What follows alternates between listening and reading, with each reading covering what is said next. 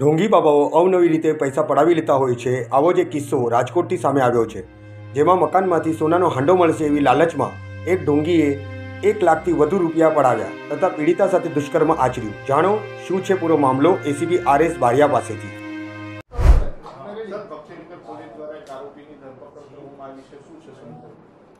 Bhaktinagar police સ્ટેશનમાં તારીખ નવ છ ચોવીસના રોજ એક ગુનો દાખલ કરવામાં આવેલો છે. જેમાં એક બેન જેઓએ ફરિયાદ આપતા પોતાની ફરિયાદમાં જણાવેલું છે કે ફરિયાદીના સાસુ માંગરોળ ગયા હતા ત્યારે તેમના બેનના દીકરીએ એમને એવું જણાવેલું કે ગુરુજી છે જે જમીનમાં કોઈ ઝવેરાત, સોનું કે કંઈ પણ દાટેલું હોય તે શોધી આપે છે. અને એ ગુરુજી હાલ રાજકોટમાં આવેલા છે તો આપણા ઘેરે બોલાવીએ. જે બાબતે તારીખ તેર પાંચ ચોવીસના રોજ ફરિયાદીના ઘરે હાલના જે આરોપી છે ભૂષણ પ્રસાદ રાજેન્દ્ર પ્રસાદ જાની સૈની સોરી જેઓ ફરિયાદીના ઘરે રાતે ત્રણ વાગે આવે છે, ત્રણ વાગે આવી અને ફરિયાદીના ઘરમાં આજુબાજુ ફરીને પછી એવું જણાવે છે કે તમારા ઘરમાં પિસ્તાલીસ કિલો સોનું છે અને સોનું તમને હું શોધી આપીશ. અને આ સોનું શોધવા માટે હાલ મને તમારે સિત્તેર હજાર રૂપિયા આપવા પડશે એમ જણાવેલ, જેથી ફરિયાદીએ તેમની નડન વર્ષાબેનના એકાઉન્ટમાંથી સિત્તેર હજાર રૂપિયા રોકડા સ્કેનર પર એમને આપેલા.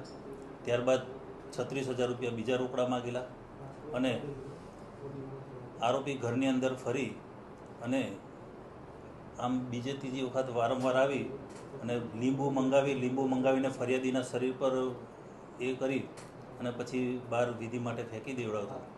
ત્યારબાદ ફરી ફરિયાદીને ઘરે આરોપી છે એ આવે છે અને ફરિયાદીને ફરી એક રૂમમાં બેસાડી અને તેને એ કરીને તેના કપડાં કઢાવે છે, કપડાં કઢાવ્યા બાદ તેને એ કરે છે અને એમ બોલે છે કે બાબાજી કો બી શક્તિ નહીં આ રહે હું ફરી આવીશ. આમ કરીને ચારથી પાંચ વખત આ રીતના નિત્યક્રમ મુજબ આવે છે. તારીખ ચાર છ ચોવીસના રોજ ફરી આમના ઘરે આવે છે. ફરી ઘરે આવ્યા બાદ ચૂંદડી ને લીંબુ ને આવું બધું એ કરીને ખાડો ખોદાવે છે. ખાડો ખોદાવીને અંદર મુકાવે છે. ત્યારબાદ ફરિયાદીને એક રૂમમાં લઈ જઈ અને તેના તેની સાથે સૃષ્ટિ વિરુદ્ધનું તેમજ દુષ્કર્મ આચરી અને સવારે તમારા ઘરમાંથી સોનું નીકળી જશે એમ કરીને ત્યાંથી જતો રહેલ છે.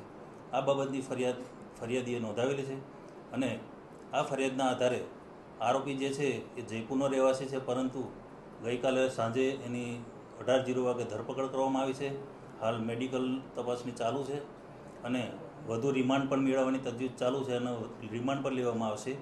અને આપના માધ્યમથી હું જણાવવા પણ માગું છું કે આ પ્રમાણેની જો કોઈની સાથે છેતરપિંડી કે કોઈ આવું કર્મ દુષ્કર્મ થયું હોય તો પોલીસ પાસે આવીને જાહેરાત આપે એવી મારી તમને નવરંગી આરોપી જે છે તેમને લોકોને કઈ રીતે પોતાની જાળમાં ફસાવતો હતો અને કેટલા લોકો આવા હશે કે જે આવી રીતે ફસાય? હાલ તો રાજકોટમાં પ્રથમ કિસ્સો બહાર આવ્યો છે પણ આ કિસ્સાની બાદ રિમાન્ડ મેળવ્યા બાદ આપના માધ્યમથી જો કોઈને ખબર પડે ને જો આ આ પ્રમાણે કોઈ ભોગ બન્યા હોય તો તેમને મારી નમ્ર અપીલ છે કે એઓ અમારી સામે આવે અને એમના વિરુદ્ધ બીજી જે પણ જે ફરિયાદ કરવાની થાય કરીશું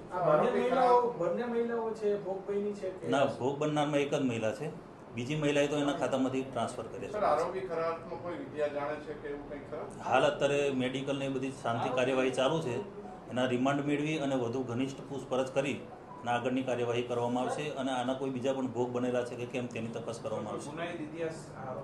હાલ સુધી કોઈ ગુનાહિત ઇતિહાસ આપણી પાસે સામે આવ્યો નથી પણ રિમાન્ડ દરમિયાન જો કોઈક વધારે જાણવામાં મળે કારણ કે આરોપી બહારનો છે જયપુર રાજસ્થાનનો છે. સર કેટલા દિવસની રિમાન્ડની માંગણી કરવામાં આવી? રિમાન્ડની માંગણી સાતથી દસ દિવસની રિમાન્ડની માંગણી કરવામાં આવશે.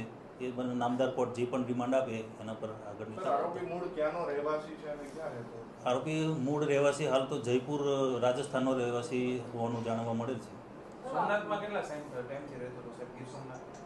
ગીર સોમનાથમાં એ કેટલો ટાઈમથી રહે છે?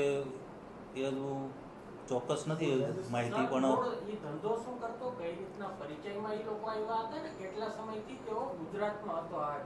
બીજા કોઈ ભોગ બન્યા છે? હા એ એ જ મેં કીધું કે બીજા કોઈ ભોગ બન્યા છે કે કેમ એ હાલ તપાસ ચાલુ છે અને રિમાન્ડ મેળવીને વધુ ઘનિષ્ઠ પૂછપરછ કરવામાં આવશે અને ગુજરાતમાં કઈ કઈ જગ્યાએ ફર્યો છે તેની પણ તપાસ કરવામાં આવશે કારણ કે શાંતિ એક મેડિકલ એની ચકાસણી માટે ચાલી રહ્યું છે અને સાંજે પણ એનો વીર્યનો નમૂનો મેળવી શકાયેલ નથી જેથી હાલ પણ એને મેડિકલ ખાતે મેડિકલ કરવા માટે મોકલેલ છે.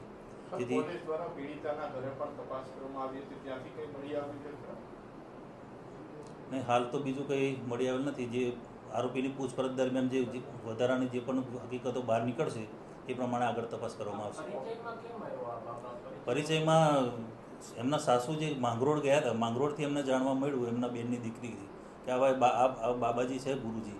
એ આવી રીતના જમીનમાંથી સોનું કાઢી આપે છે એ દરમિયાન એમના સંપર્કથી અહીંયા રાજકોટમાં આવેલા છે. એવું એવું જાણવા મળે છે હા એ એ હવે તપાસનો વિષય છે.